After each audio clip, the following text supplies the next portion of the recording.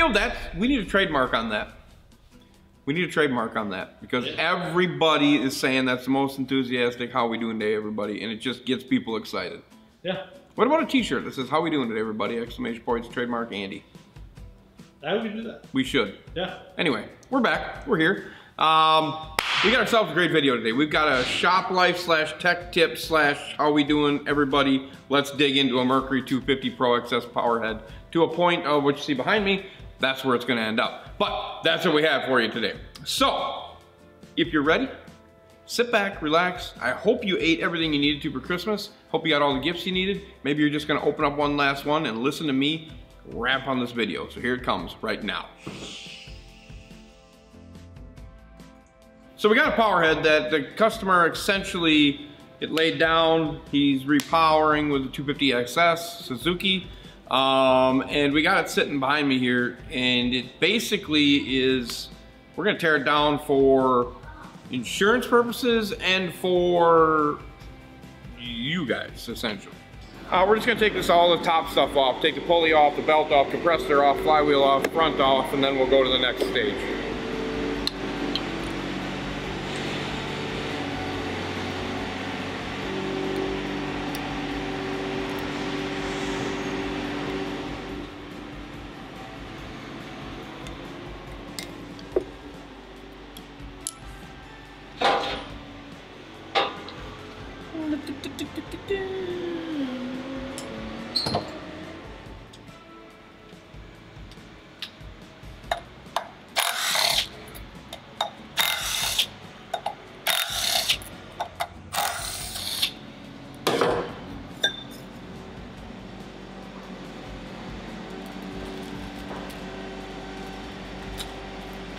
Talk about bagging stuff. Yeah, everything we do here we bag. So we bag everything per what we're doing. Me, I've done so many of these, I'll probably just bag all this top stuff into one bag. I would recommend if you've never done one is individually bag per what you're doing. But I just done so many of these that it's like, I know where all these go, all these bolts go and everything. So. Same as oil lines, I would say. You're gonna want to uh, mark your oil lines if you've never done one. And just so you know, you can reference back on where they go because you you'll get to a point where everything will be the same length, same everything, and uh, one wrong one wrong oil line and she's all done.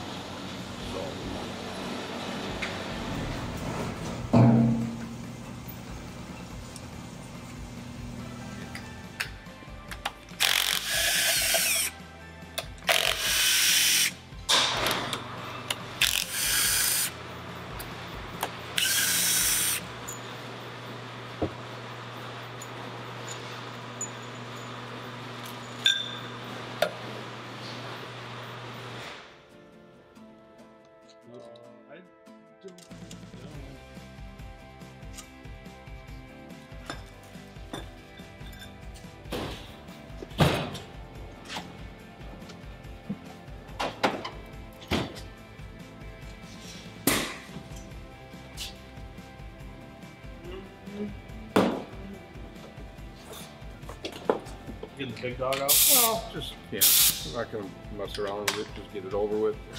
Get this stuff apart and get to the good stuff. That way we're not messing.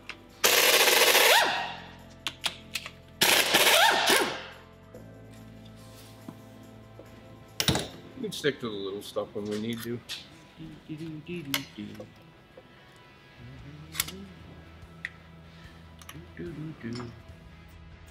We'll go back. Eight to ten, from ten to eight, from eight to ten.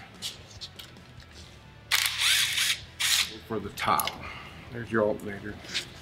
For me, I just like to leave the bolts in here because then they, I can just set it here on my cart like that. It just sits there. No washers underneath. We already put the one washer in here, so. So I was taught to undress power heads in bulk chunks. Um, it saves time, it keeps things together, less clips, less things that can go wrong. So essentially what I like to do is take them off in chunks. One, two, three, four at the most. Making sure you're bagging everything as you go. That's the way I was taught. That's the way I like to do it. The flywheel wasn't popped before we got to this point. It should have been popped over on the motor. It's kind of a requirement, but sometimes people here forget. So I'll have to pop that right here. So Jackson got it taken off perfectly, got it all the way over my bench, and he didn't pop the flywheel. Neil, what's the number one rule when you pull a power head? Pop flywheel. That was from Neil. That's all I had to say. Hey, in my defense, I didn't know you were taking it all the way down. What's the number one rule when you pull a power head? Tell America that you fucked up. Well, you know, we ain't gonna be that say stuck. it. Accountability. Say Nah. it. I fucked up. Well, complete teardown, yeah, I fucked it up. Is it stuck stuck? Oh, I'm sure it's not good. It should be. A plus, buddy.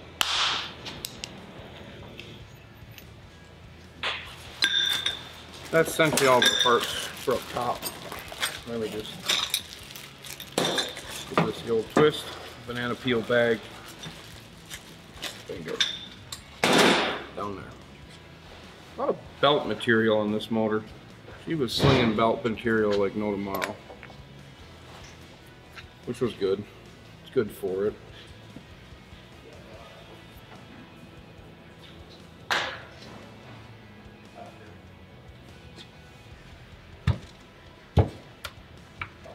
What's that furnace set at, Neil? I was gonna say it has not shut off. I wonder if it went to its own world again. It went to 69, 64. It is set at 69? Yep. Okay. We're gonna uh, pop this flywheel by hand. No air.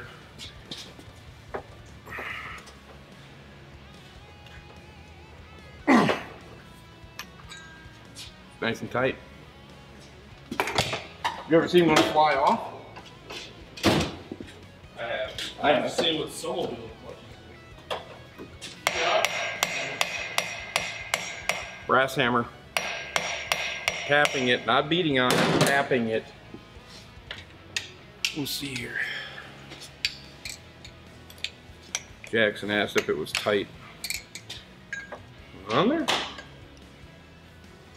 Pope Catholic?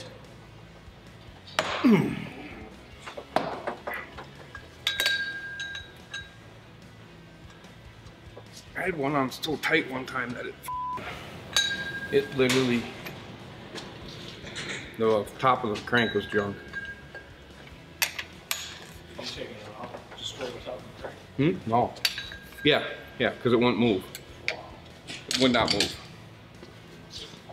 How are they fusing the other side? Hmm? How are they fusing the other side? I don't know what happens up here. I don't know if it's harmonics or what starts to happen. And this would be a simple thing that it ran harmonics and that is literally welded itself onto the crank because there's a breaking point there. Yeah. You know what I mean? So it could sit sit there and just Yeah. make liquid fucking molten. Yeah. And what do you do then? You know what I mean? That's the only thing you can you can really think of that would do it was harmonics. Yeah, harmonics is a word that a lot of insurance companies don't understand.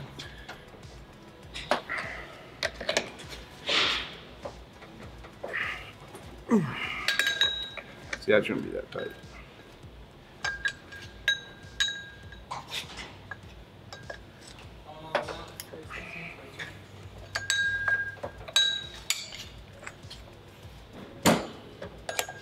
I'm gonna wish you a Merry Christmas. Merry Christmas. Merry Christmas. For me and you.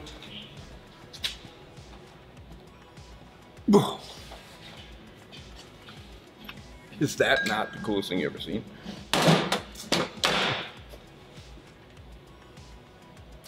Ah, fucking, it's not moving.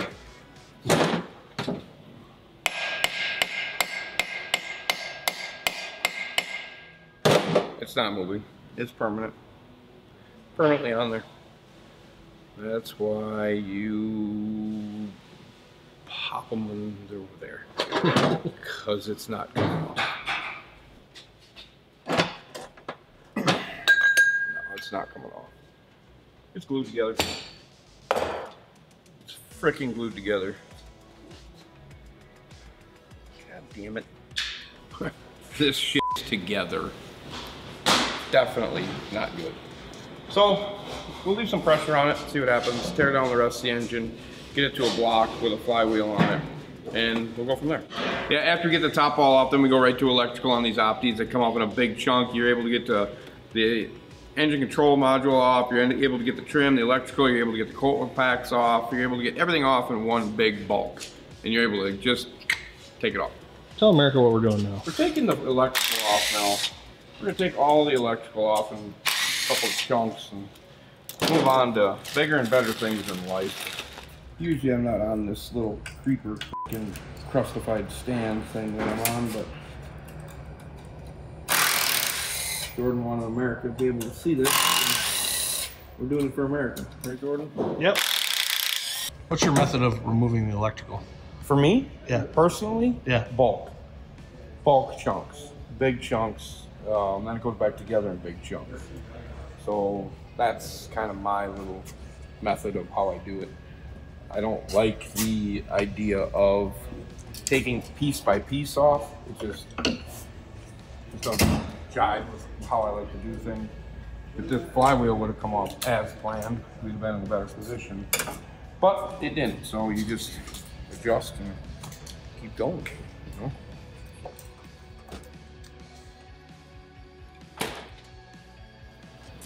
All right, what do we take? What just came off there? That this is coil packs.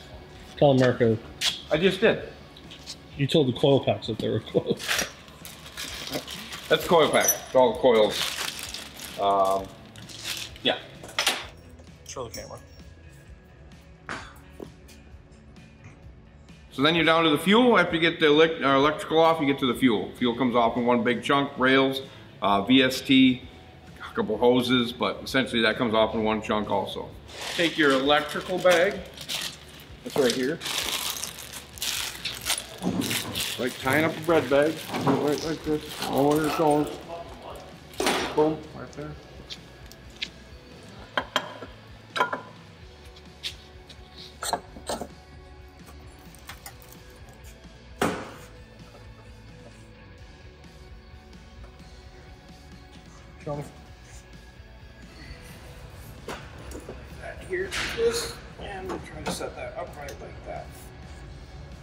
Still fuel in there, but we still not get too crazy. There it is. Now since you're down to a plenum, a block, some small things. Which is basically gonna be, like so here's your, your fuel bag now. So literally we got three parts off, three bags. Bingo. Now, me personally, I don't usually take the air injectors out of the heads until I go back to um, putting them back in. So I don't get them cross mixed or whatever. I just leave them in their home. We've already been here for this, so take this off, which is our head. That can go here. This is for you. Have that. There you go. You didn't want to get dirty, did you? You had to go home and told your wife you got dirty today.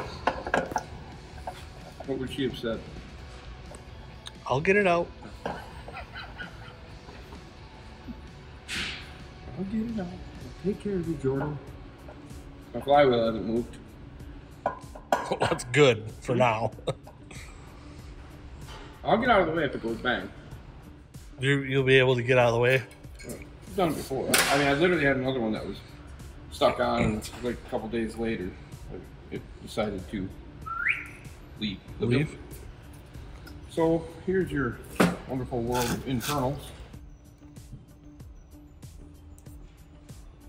Yeah, now you're on to step four, which is basically a plenum and some accessories. So it'd be linkage, um, maybe some sensors that are left over. Plenum comes with the oil tank, the oil's with the plenum, so it all comes off together. That whole thing comes off in the front.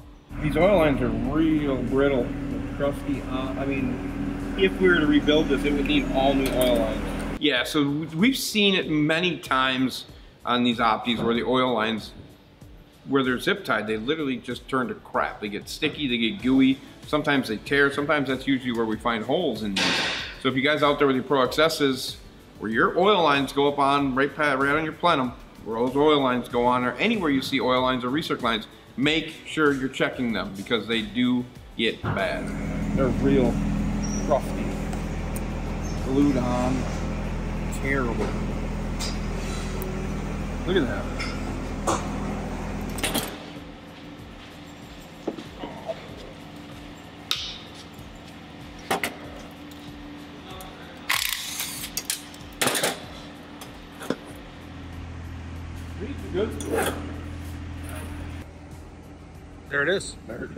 Plenum. BigChunk.com. That's it as far as we can go until this thing decides to go ping on its own. Um, it's stuck together. It doesn't want to come off. So um, for any of you guys that are going to be like, oh, the washer's still in there, the washer's not in there. Trust me. I took the washer out. So um, it's literally stuck together. Being that I can't get it apart, I can't really tell you what has failed. Um, it does look like that there's definitely stick on the side, but it doesn't look like your normal aluminum to steel transfer. It looks like steel to steel style transfer, so we could have bearing problems on this. Um, we could have anything going on crazy, but I can't get it apart to give you that. But when it pops, when I say when, it's going to, hopefully. If not, it's going to break. Um, we'll do a follow-up so you guys can actually see the inside. We can piston out and we can get it shown to you and see some of that stuff. So I hope you guys like this stuff. If you do like, comment on this. Comment you want more videos like this. We certainly can do more. Um, we're always tearing stuff down, always doing things inside the shop here, so we can always do some of that stuff. Um, but besides that, that's it. That's what we got for you on this video. Make sure you comment on it. Make sure you check the merch out. It's somewhere around here. Jordan always says it's up here, so it must be up here. So make sure you click on the merch. Make sure go check that out. I know it's after the holidays, but you can always get yourself something for the new year of 2025 because it's going to come in hard. Um, and that's what I got. If you, like I said, if you like the style video, you like these teardown videos, you like that kind of show, you know, show how that comes apart, la di da di da. I'm not gonna be the one to tell you to go do it yourself. And I'm not gonna be the guy that's gonna be the instructional video guy on YouTube because I feel you always should relate back to your shops, always should relate getting it to your, your authorized dealer or something along those lines so they can get a look at their stuff. Um, but as always, you know, comment on this, comment what you think. If you like these kind of videos, we can certainly do more. Um, they're kind of fun. They get us out there and get us tearing stuff apart. So I hope you had a great holiday season. I hope the first was good to you, and I hope the new year is great to you. Um, and you guys have been great to us. We can't thank you enough for your support, your changing of how this thing went down, how we do this, and uh, Jordan and I, everybody here, everybody behind the scenes that, that, that does this YouTube channel, we can't thank you enough. Um, to everybody on the podcast all year that invited us out, we thank you. We thank you for inviting us. Uh, product review people, we thank you. Um, we just thank everybody that keeps pushing this this YouTube channel that I don't think Jordan and I thought would ever get to where we're at, but it got there. So um, we're ready for it. 2025 is going to be great, and um, here we go. As always, comment, subscribe, click notification bell to witness the madness that I hope everybody in the new year is to scream even louder. Speed, money, no brakes. I'm out. See ya!